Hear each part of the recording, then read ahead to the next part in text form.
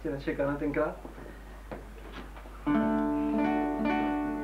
To mě jako napadlo, když, se tady, když tady tak chodíte, ten náš pejsek rýmovej, takže bych se pokusil si vzpomenout na jednu píseň, která, která je věnovaná právě pejskům. Jeden pán pivem zmožený, unaven k zemi kles, podivnou náhodou ležel tam zrovna pes. A jak ten pán na zem pad, na nohu psovi dub, pes zavil žalostně, použil hned svůj chrup a do nohy jej kous. A pán měl, co chtěl, vešlat té pejsku na nohy.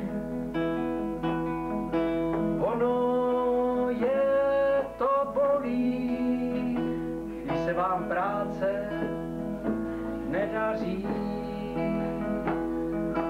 Nebýte je holí, vždyť jsou to němí tvorové.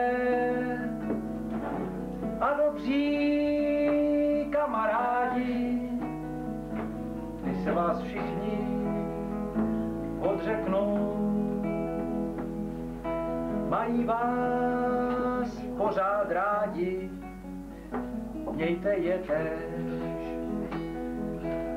Kdo je bude drážditi, těžce bude platiti, jako ten pán, co byl přiožrán dobou do lítka, těžce pokousán, nešlapte pejsku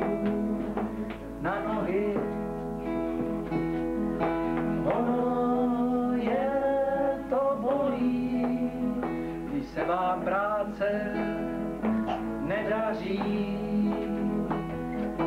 Nebýte je holí, vždyť jsou to němí tvorové